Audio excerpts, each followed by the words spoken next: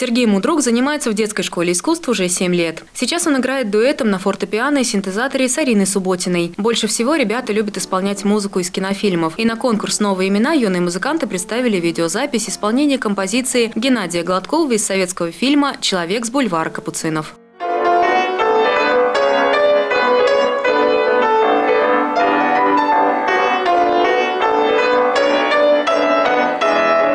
Ансамбль Сергея Мудрука и Арины Субботиной существует уже 4 года. По словам музыкантов, без надежной поддержки друг друга было бы невозможно завоевать награду. Играем совершенно различные произведения разной сложности.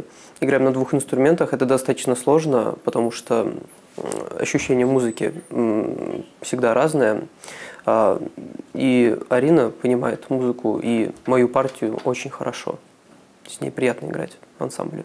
С подготовкой к конкурсу ребятам помогала их преподаватель Ирина Ракова. Выбирая композицию для конкурса, она опиралась на технические возможности коллектива и готовность воспринять произведение. Этот трек-тайм строится на той же теме, которая проходит сквозь весь фильм, как такая лейт-тема.